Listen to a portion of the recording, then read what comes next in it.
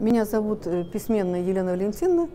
Я являюсь научным руководителем проекта «Экзоатлет», ну и э, старшим научным сотрудником Института механики МГУ. Путь э, в медицину был не совсем прямой. Он был через желание сделать для здоровых людей э, экзоскелет, который бы оставил их здоровыми, сохранил им э, хорошее э, здоровье в плане э, не сломанных и не сдвинутых позвоноч... позвонков. Мы делали экзоскелет для нужд МЧС, когда они должны носить большие грузы. И э, это была первая работа, которая нас привела вообще мысли о том, что можно разрабатывать экзоскелеты и что может получиться нечто весьма удовлетворительное. А, а после того, когда мы поняли, что э, для здоровых людей слишком большие требования э, по оборудованию, по техническим требованиям, мы э, убедились в том, что можно сделать э, с немного меньшими требованиями для оздоровления людей, для их реабилитации. Основная проблема э, в реабилитации, во внедрении ее в врачебную среду заключается в том, чтобы познакомить врачей, убедить их в том, что это оборудование способно сделать восстановить здоровье людей гораздо более быстрыми и эффективными э, методами, и обучить их э, работать с этим оборудованием. Но для того, чтобы можно было убедить врачей, мы должны еще их обучить э, теми инструментальными, то есть пользоваться инструментальными средствами, которыми можно проводить измерения и оценивать эффективность реабилитации. Э, вот это вот одна из основных задач, которые мы э, решаем непосредственно приезжая в клиники. Мы приезжаем в клинику, э, знакомимся, просим отобрать нам пациентов, подходящих по данной нозологии, и работаем непосредственно и сами, и врачей обучаем. Поэтому все действия наши идут совместно с врачами. Врачи учатся у нас, мы учимся у врачей, а пациенты э, получают и от нас, и от врачей определенные э, знания и помощь. Мы э, проводим биомеханические исследования в соответствии с наличием той аппаратуры, которая является мобильной, то есть переносной. Мы можем проводить испытания при разных, то есть в разных местах и, в общем, с разным количеством больных. Это биомеханические исследования по динамитрии, по э, силовым, исследованиям силовых параметров и по миографии. Мы сейчас э, работаем над тем, чтобы создать переносные э, лаборатории биомеханики и создать такое программное обеспечение, которое бы могло помочь врачам делать исследования быстро и получать результат быстро. А в зависимости от полученного результата уже можно будет тогда проектировать дальнейшие э, реабилитационные мероприятия. Э, помимо экзоскелета э, насыщать нужно еще и миостимуляцией, либо спинного мозга, либо миостимуляцией мышц при ходьбе, ну и другими ЛФКшными, э, в общем-то, процедурами. Они все должны быть, э, соответственно, реализованы по тому назначению, которое мы увидели по реабилитации. Кому какие мышцы стимулировать, э, можно увидеть по первым результатам реабилитации и их замерам. Биомеханические исследования заключаются в том, что э, все здоровые люди, независимо от, в общем-то, возраста и роста, ну, если это взрослые люди, ходят практически одинаково. У них только различается длина шага, скорость ходьбы, э, высота подъема ноги. Э, данные по миографии могут различаться только по э, одному параметру по величине миографической активности. А вот все временные фазы, когда какая мышца должна срабатывать, это совершенно четко известный заранее предписанный нам э, паттерн движения. То же самое и с углами. Коленный угол, тазобедренный угол, голеностопный угол ведут себя строго по определенным законам. Если человек имеет какую-то патологию, у него имеется отличие либо по сразу по всем параметрам, либо по части параметров. И именно эти параметры мы потом в процессе реабилитации э, должны скорректировать. И вот уже коррекция этой реабилитации является сугубо индивидуальной программой для каждого пациента. Чтобы ее получить, мы должны обосновать э, наши наблюдения, сделать выводы и дать рекомендации уже врачам, которые будут э, действовать целенаправленно.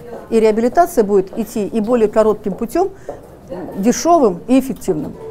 Э, у нас э, родилась такая мысль э, разработать переносную фактически лабораторию, которая, с одной стороны, может быть развернута в любом месте без требования к помещениям, потому что видеозахват движения требует большого помещения и, соответственно, камер. И потом точности хорошей мы там не получаем. Мы сейчас разрабатываем специальный комплекс, который включать будет в себя э, измерение э, силы реакции опоры, будет э, иметь, измерять углы, причем в разных плоскостях во, всех наших суставах, и миографию по достаточному количеству мышц одновременно, и все это будет происходить, и все эти измерения будут происходить одновременно в единой сетке времени. Вот этого нет ни у кого. Проект Бомбини э, совершенно замечательный проект, поскольку это дети.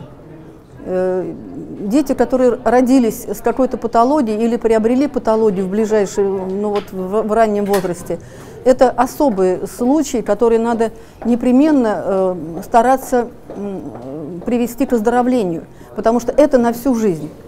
И для того, чтобы это исключить, вот такое состояние, причем это э, проблема на всю жизнь не только в отношении этого молодого человечка, но это проблема семьи. И для того, чтобы сделать, э, устранить эту проблему, для того, чтобы общество пол получило полноценного э, человека, а человек стал счастливым человеком общества, мы к этому и двигаемся.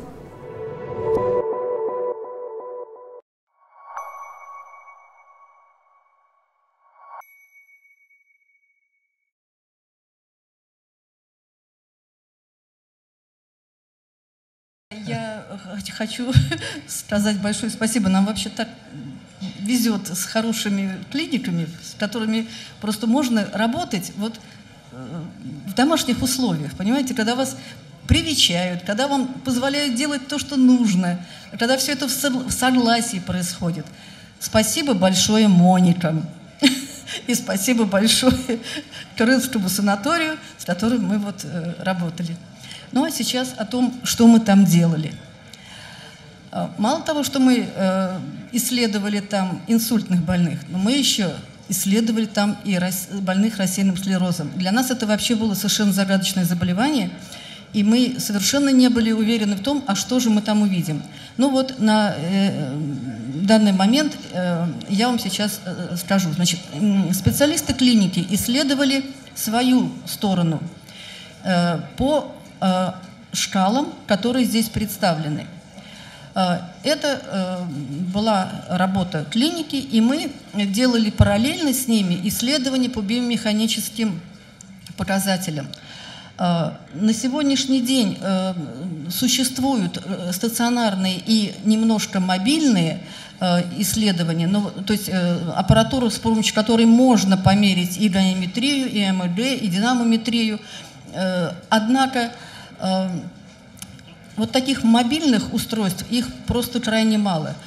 Эм, поэтому нам повезло, у нас они были, и мы э, могли выезжать в клинику и делать то, что э, запланировали. Э, очень важным исследовательским вот таким аспектом являлось использование вот сенсоров для определения силы реакции опоры. Сначала мы использовали кислеровские платформы, у профессора Воронова. Вот видите, в средний кадр там э, э, ходит наш Денис, кстати, он здесь, у него можно спросить. И мы увидели, что иметь только два шага, а там даже и два шага не получалось, потому что длина платформы э, такова, что не получается кратность по шагам. Мы решили, нет, нам это не годится. Нам нужна достоверная, полная информация по всем шагам. И вот мы остановились на выборе э, кирскановских стелек, с помощью которых мы э, исследовали именно реакции опоры. чрезвычайно важное исследование, потому что определение, они позволяют получить определение положения фаз, э, стопы в разных фазах, момент отрыва пальцев. Э, по ним мы получили все временные параметры и оценка естественно-механической стимуляции, которая необходима для запуска э, локомоторного генератора. Ой, а где? А, извините. Вот мы считаем, что оценка подошвенного давления э, за счет использования системы тензометрических сенсоров помогает э, обеспечить лучшее понимание функций стопы, дает более полный анализ походки и может помочь оптимизировать процесс реабилитации э, как таковой. Особенно важна эта информация для идентификации фаз переднего и заднего толчков и работы плюснефаланговой зоны стопы. Э, у больных рассеянным склерозом тоже проблема в постановке, э, правильной постановке стопы. Э, совсем не факт, что все ходят хорошо. И мы сейчас это дальше увидим. Вот посмотрите, пожалуйста, у нас во втором курсе наших исследований были более тяжелые больные, чем в первом курсе. И была такая больная, которая фактически на левой ноге, вот посмотрите на самый Э, левый верхний слайд, она стояла на пятке. Мы сначала не могли понять, как-то она так стоит, интересно. Не увидишь, этого не увидишь, даже глядя на э, подошву больной. А вы видите, вот там левая зелененькая, тут есть указатель, нет? Э, стоит на пятке. Вторая правая нога, красная, она стоит на плюсе, толчок происходит плюсе. Вот эти вертикальные полоски позволяют понять, в какой фазе мы проводим оценку. И посмотрите, пожалуйста, на правую и левую ногу. Левая нога составляет э, менее половины от опоры. Это то же самое, что происходит и с больными э, после инсульта. Вот э, средние шаги. Э, левая нога гораздо менее э, опороспособна, чем правая – если на правой ноге присутствует и пятка, и плюсни, то на левой ноге плюс, плюсни нет вообще. Вот, э, пожалуйста, обратите внимание. Теперь, что произошло после 10-дневной тренировки? Как видите, реакции опоры правой и левой ноги выровнялись. Появилась и пятка, и плюсня. И это мы видим, э, вот я специально оставила один зеленый, э, ну, то есть левую ногу, чтобы не туманить. Э, там появилась и пятка, и плюсня. И средний шаг, который представлен вот на э, правом верхнем графике, они э, уже приблизились по реакции. Ну, здесь вот написано, что плюсня теперь достигает уже 30% от веса тела. Запустите, пожалуйста, э, два видео. Э, больная до э, курса ну, совсем плохо ходила. Вот она ходит в экзоскелете в брусьях, и вот она потом ходит с каталочкой.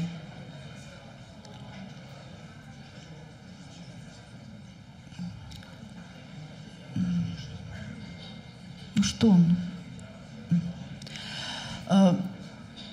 исследовали э, другого больного мужчину. Э, как видите, ой, а почему так? Вот. Э, исследовали, вот э, картинка там внизу, э, исследовали и э, кинематические параметры, э, которые имели совершенно мозаичные выпады отдельных элементов ходьбы, отсутствие второго тыльного сгибания голеностопного сустава на обеих ногах – и практически отсутствует движение в левом коленном суставе. Асимметрия была в кривых э, угловых перемещений на обеих ногах. Э, внизу представлены э, до и после графики голеностопного сустава, тазобедренного сустава и коленного сустава. Практически полное исчезновение рекурвации произошло. Красное – это после – увеличение первого тыльного и второго подошвенного сгибания на правой ноге. И больной э, стал ходить, в общем, заметно как-то лучше. Что так плохо переключается? А, у этого же больного исследовались миографические параметры.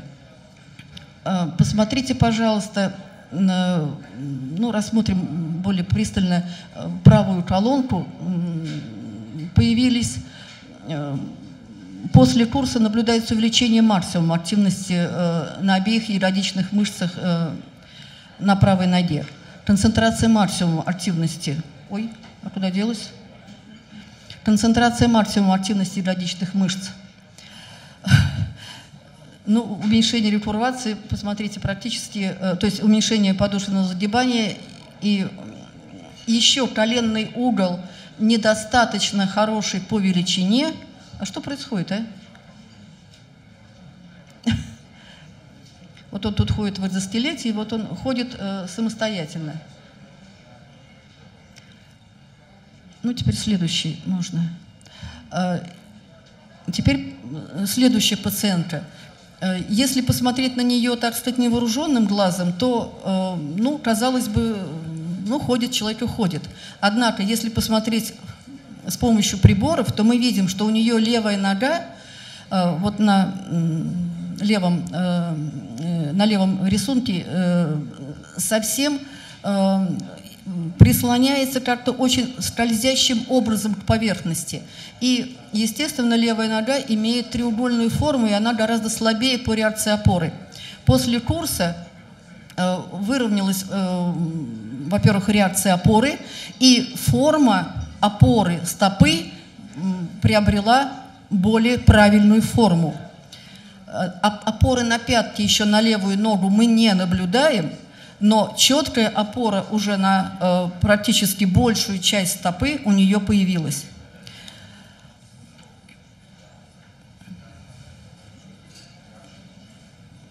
Презентация большая, поэтому... Ой, это рано. Э, запустите, пожалуйста, первый... Ну, то есть все три, ага. Вот больная ходила до, потом она ходит в экзоскелете, потом она ходит после. У нее выровнялись реакции опоры на правой ноге, увеличился длина шага э, с 0,77 метра до 0,95 метра. За счет этого повысилась скорость. Э, темп у нее остался примерно такой же, но вот скорость повысилась за счет увеличения длины шага. А длина шага увеличилась. Это очень хороший показатель, потому что, значит, ушла спастика. Она не могла раньше толком подняться по лестнице, у нее правая нога была э, спастична. Вот. И потом она говорит, я гораздо легче теперь поднимаюсь по лестнице. Э, мужчина, который с нами тоже э, вот, принимал участие в наших исследованиях, имел э, ну, вот такую реакцию опоры. Ее назвать правильно никак нельзя.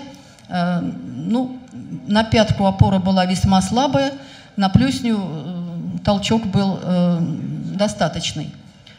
Э, что произошло после этого 10-дневного курса? Реакции выровнялись, приобрели правильную двугорбую форму, то есть то, к чему мы стремимся. Ну и вот еще мы миографии тоже здесь хотим показать. Мы мерили ее до курса в скелете и после курса. И мы видим, что мышцы э, отвечают на э, воздействие на работу скелета. Не буду долго рассказывать, кому интересно, э, расскажу. Вот здесь можно коротко сказать, что уменьшилась активность rectus femoris и gastrocnemius в переносную фазу, а это чрезвычайно важно. То есть мы сняли спастику частично. То есть в переносную фазу эти мышцы должны отдыхать. И они здесь действительно уменьшились, их миографическая составляющая. Ну,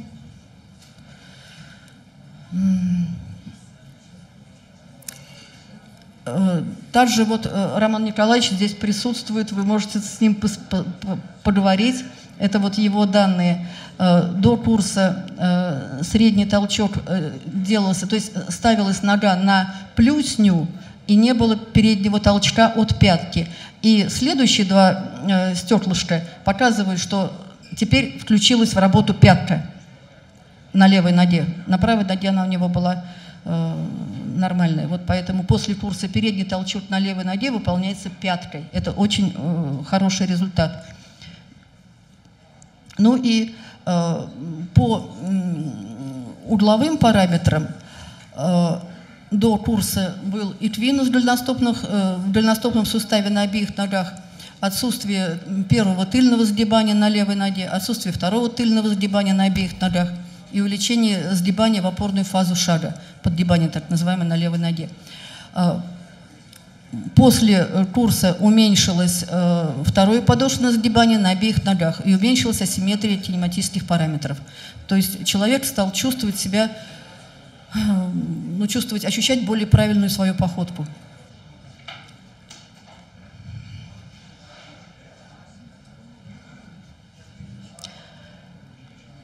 Ну вот, э, смотрите, а, а первый, ага, запустите, пожалуйста, вот так человек идет после курса, э, вот на том слайде он шел до курса. А вот это вот прогулки по парку Моники.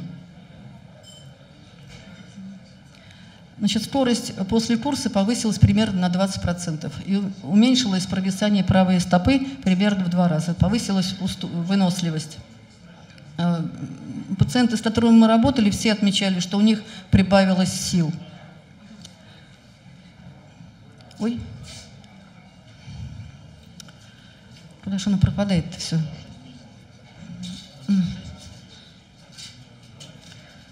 Ну, выводы не будем уже э, зачитывать, они, в общем-то, здесь очевидны. Я на эти нажимаю, я вот на эту нажимаю, она не перескакивает. Э, Значит, э, клиническая картина э, ходьбы пациента с артериальным склерозом отличается неуверенностью, шаткостью походке, с резким раскачиванием туловища относительно фронтальной плоскости, цеплянием носком за опорную поверхность. Нередко отмечается сочетание эквинуса в голеностопном суставе с рекурвацией в коленном суставе. И посредством инструментальных исследований были выявлены вот эти характерные особенности ходьбы э, пациентов с рассеянным склерозом. Они здесь перечислены. И э, после курса э, тренировки в экзоскелете наблюдается увеличение средней скорости передвижения по всем э, пациентам, повышение устойчивости, устранение временной динамической асимметрии, изменение формы вертикальной составляющей и исчезновение вот этой цикличности, когда пациенты э, начинают быстро уставать, и э, сразу же это проявляется на реакциях опоры, они имеют такой вот циклический э, характер. Э, мы желаем всем здоровья, и мы будем стараться помочь в этом. Спасибо.